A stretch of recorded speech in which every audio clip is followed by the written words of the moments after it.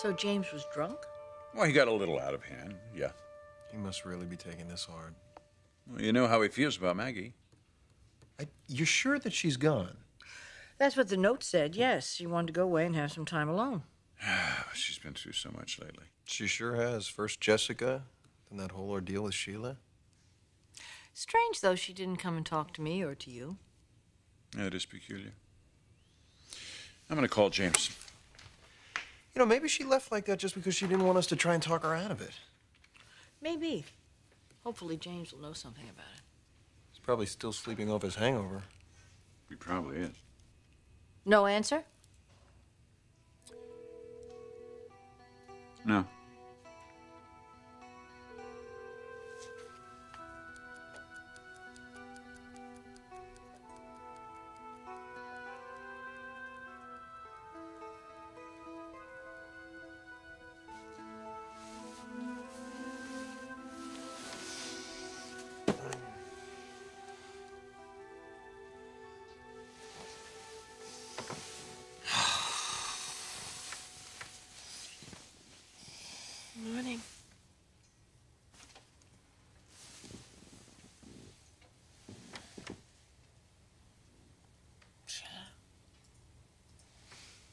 You doing here? That's a, a silly question because this is my bedroom.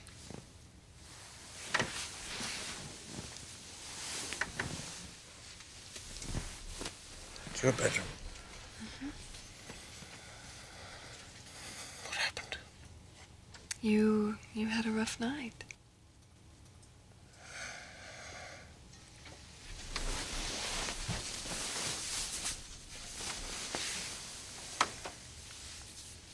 Did I drink scotch? yes, entirely too much. You were in no condition to go home. So I spent the night here in your bed. Mm-hmm. Just like a baby.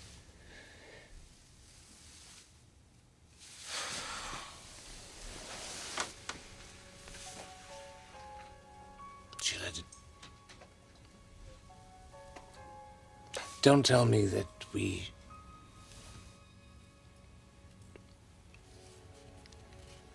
Made love?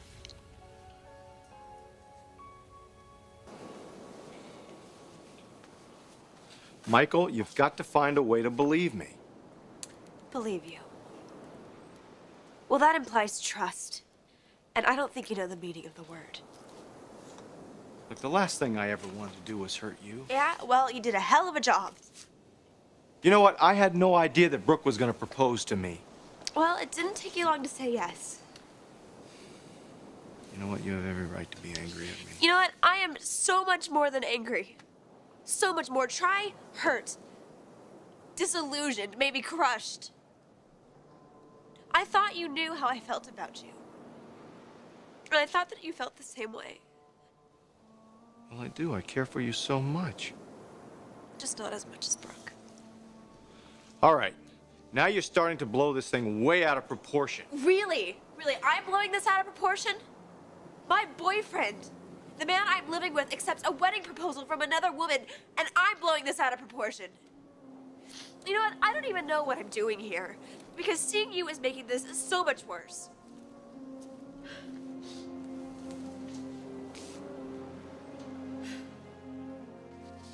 We're going to need four more of those velvet gowns in black. Where to? One goes to Paris. Madame Lacoste? Mm-hmm. One stays in L.A. for Streisand. And the other one goes to Japan for Mrs. Ito. And the last one? The White House. Hillary, huh? Mm-hmm. You got it. All right, well, that takes care of the order then. I'll see you at the meeting. Ridge. Is this the way it's going to be? Polite tension, one word answers. Just taking care of business. It's really gotten to, hasn't it? What? My proposal to Grant. Like I said before, it's laughable. It's not gonna work, Brooke. Getting a stooge like Grant to try and get to me. In fact, it's kind of an insult that you'd even think I'd fall for it. Then why are you so upset? I'm not. I'll bet Taylor is. Well, for your information, my fiance and I went to the private dining room last night. and We talked about this ludicrous proposal of yours. Taylor even offered to give back my engagement ring. She did? Yeah. So what did you do? Did you take it back?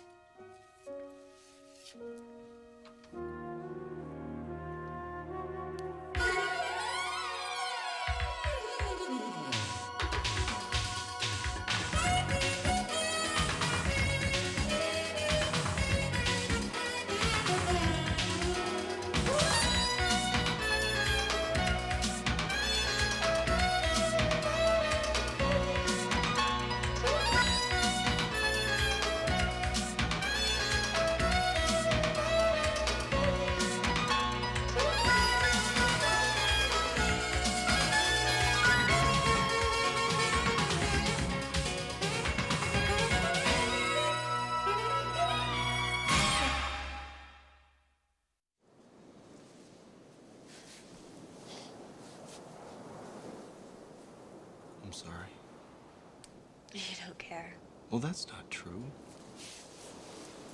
Then tell me, Grant. How could you do this? How could you do this to me? All right, I want you to listen to me. Just because Brooke proposed to me, that doesn't mean there's going to be a wedding. Well, that's usually what happens. These are very unusual circumstances. Hmm. Tell me about it. Would you do me a favor and just hang in there? Hang in there. Why? So I can waste a few more months of my life? Maybe put myself through just a little bit more pain? No, no, thank you. I think you've taken advantage of me just enough. Taken advantage? How have I taken advantage of you? You stood in front of the entire fashion world, Grant. In front of my friends, in front of my colleagues, and you accepted a wedding proposal from Brooke. You made a complete fool out of me. Look, you know there's a lot more to this situation. Yeah, you're damn right I know, else I'd be on the first plane out of here. But if you think that I'm gonna put up with any more. Listen, I promise you, I'm gonna make this up to you. How? Maybe slipping away on your honeymoon or, um, secret rendezvous at my place. No, that's really not a bad idea. I'm serious. I have to put up with this. You and Brooke. Both together, fashion's newest super couple. This is a temporary thing. Trust me. Wait, don't even think of touching me. All right. Then I'm going to ask you again. Be patient. Now, can we talk about this later? I have a meeting.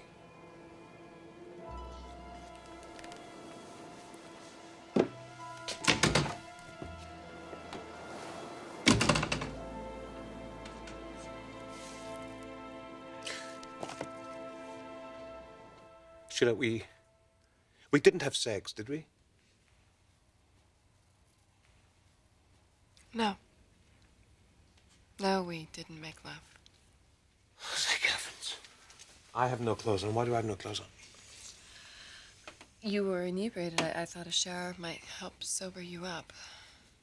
I took a shower. Well, not by yourself. Oh, come on, you, You couldn't even stand up. I needed to help you. I don't remember any of this. No, apparently not. I'm so sorry. I am so terribly, Don't terribly sorry. apologize, Well, I show up on your doorstep inebriated. I have to apologize. It wasn't like that. Okay, we, we had a lovely time. I'm sure I wasn't the best company. You were delightful. Yes. Ranting and raving, probably in You weren't stupor. ranting or raving, okay? We, we just talked. For, for most of the night. About what? Anything that came to mind. I even got you to laugh. Really? Yes, that's right. You enjoyed yourself, James. I'm not surprised. And you're sure that we didn't. M- maybe a kiss or two. What? It, it was harmless. Harmless? How can it be? har- I'm your therapist. It's not hard. well, You're also a man. You were in pain. Maggie left you. Yes, but you must surely understand that if you and I. I cannot continue. I, I, I, I'm well aware of that. So, so, so please, would you just relax? Okay? Don't make such a big deal out of this. I, last night was wonderful. I, I'm, I'm gonna remember it the rest of my life. But you're helping me. I'm, you're, you're helping me get, get stronger, get better, healthier. That, that's all because of you. So what happened last night between us, uh, nobody has to know about, okay? It, it can be our our secret. And I promise you, I, I really I I promise you nothing happened. We did not have sex. We didn't. I have to go now. Thank you very much for taking care of me.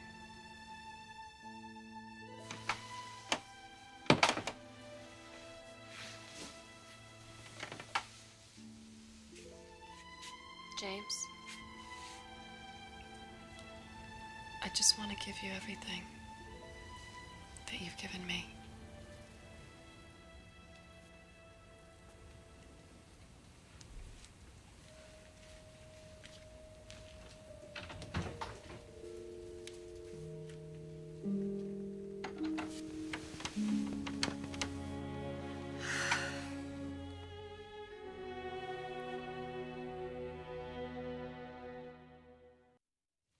Any idea what this meeting is about? You know, I don't have a clue. Well, Brooke's been so full of so many surprises lately. I'm sure we can expect a few today. She certainly has kept everybody on their toes lately. Thank you. You mean her engagement to Grant? Mom, you should be thrilled. Brooke's finally met a guy who she's going to marry whose last name isn't Forrester. Well, she certainly isn't marrying a man she's in love with. Well, what other possible reason would she have? Your brother. Ridge. Your mother doesn't believe that Brooke has any intention of marrying Grant. You're saying that this is all a ruse? It's a desperate attempt by a desperate woman, and it's a big mistake. I don't know, Mother. Well, of course that's what it is. She's trying to show Ridge how ridiculous it was for him to ask Taylor to marry him. Like a game of chicken. Exactly. But he isn't going to fall for it. I'm going to make sure he doesn't.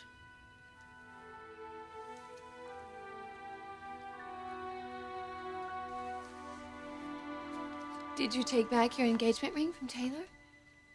What do you think? You're still committed to her? That's right. Just like I'm committed to Grant. Hardly. I'm, I'm actually going to marry Taylor. And Grant and me? You're just trying to get even, Logan. You underestimate me, Ridge. No, Brooke, that's one thing I've never done with you. Hmm. Certainly glad to hear that. It's not going to change things, though. What would it take to do that? Believe it or not, I'm actually content with my life. Right. You, on the other hand, you're kidding yourself. If you believe that anyone's going to think that you're actually going to go through with this, What, marrying Grant? it's a joke. That's funny. That's the way I feel about you and Taylor. No way it's going to happen. You're so sure. Positive. Ridge, I am marrying Grant. A man you don't even love? I'm sorry, but this whole thing is so lame, so transparent. I mean, you really take the cake, Logan. You can laugh all you want, we're talking about the rest of our lives. And that is no laughing matter.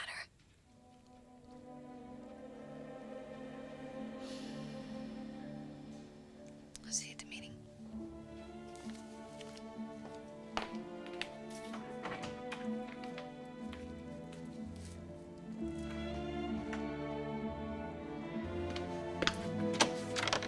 Hey, hey Mike. You alone? Yes, come on in. Just thought I'd swing by, check on my favorite lady, see how you're doing. Let's see how I'm doing. Well, let me tell you how I'm doing. Things could not be more perfect.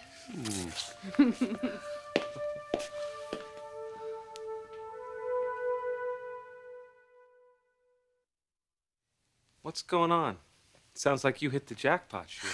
Let me tell you, last night was the greatest night of my life.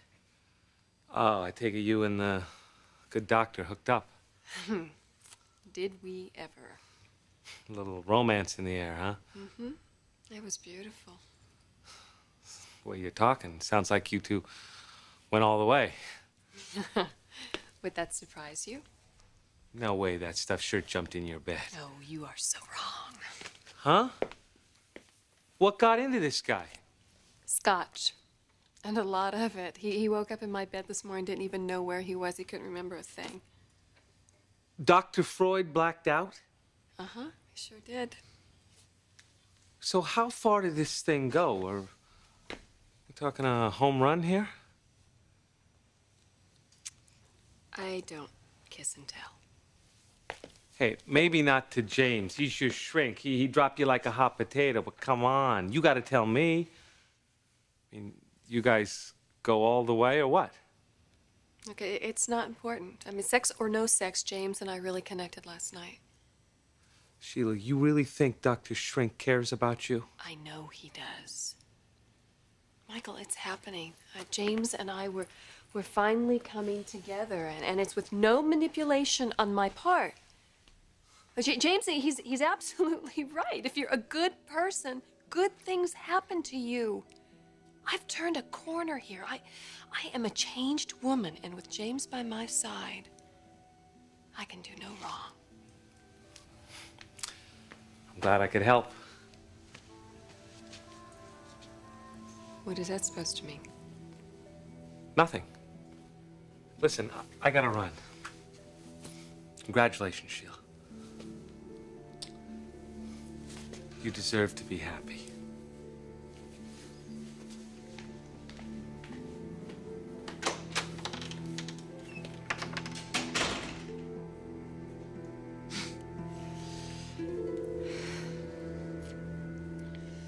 Are we going to begin the meeting, Brooke?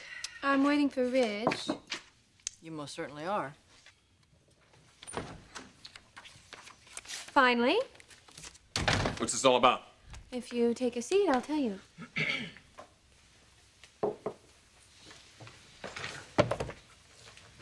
First of all, I would like to congratulate everybody on the success of the fashion shows. Well, the Forresters pulled together. That's why we're always on top. Yes, we are. The numbers are good. Mm-hmm, I know. They're excellent. Record orders. Much of the success can be attributed to the men's line, and that brings me to the next reason why I brought you here. There's going to be a lot of changes in Forrester Creations. What kind of changes, Brooke? Well, as you know, Grant will continue to head up the men's line. Your fiance, you mean? Do you have a problem with that? As long as he stays the hell away from me. I don't think that will be possible. Effective immediately, Grant will begin working on the women's couture, as well as heading up the What? men's line. This means we will have the best design team in the industry. That is why you brought Grant here in the first place, isn't No way, Brooke. This game of yours has gone too far. I assure you, Ridge, this is no game. We all know exactly what you're doing. It isn't going to work. What I'm doing is making decisions in the best interest of this company. Grant and I working together? It'll never happen, Brooke. No way in hell. Sorry I'm late. Perfect timing. Hey.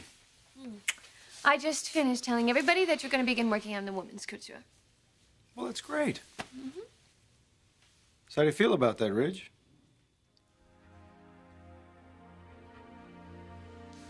How do you think he feels about it? Whoa, whoa, whoa, wait a second. People, please, let's just keep our heads, okay? Grant is back. So let's just wipe the slate clean and, and move on, okay? Brooke, you can play this game all you like. Just don't expect any of us to want to be a part of it. You stole the company, so I guess I shouldn't be surprised that you're in here flaunting all of this. And I'm not the least bit surprised, Grant, that you're part of it. You two belong together. Now, if you'll excuse us, we have some family business to take care of.